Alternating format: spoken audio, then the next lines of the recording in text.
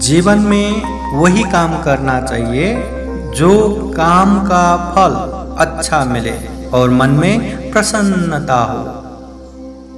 तथागत बुद्ध ने राजगृह नगर के वेणुवन विहार में रहते समय सुमन माली के कारण पाली गाथा द्वारा इस तरह का उपदेश दिया हुआ है।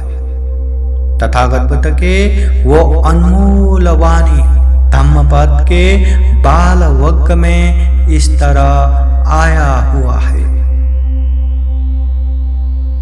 तंच कतं साधु यं कत्वा नानुतापति यस्पतितो सुमनो, विपाकं पतिसेवती।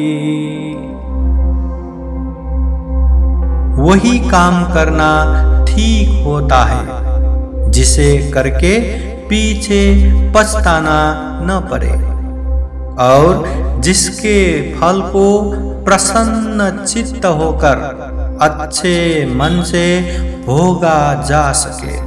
साधु साधु।